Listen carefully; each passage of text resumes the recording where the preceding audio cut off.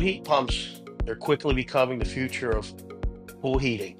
States and even the federal government are pushing for electrification, especially in cuckoo states like California.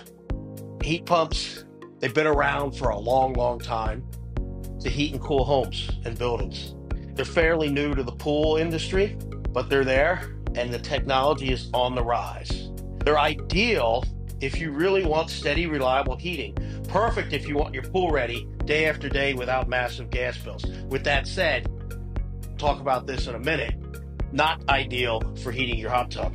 They work slower than gas heaters, that's why, especially when the weather's colder.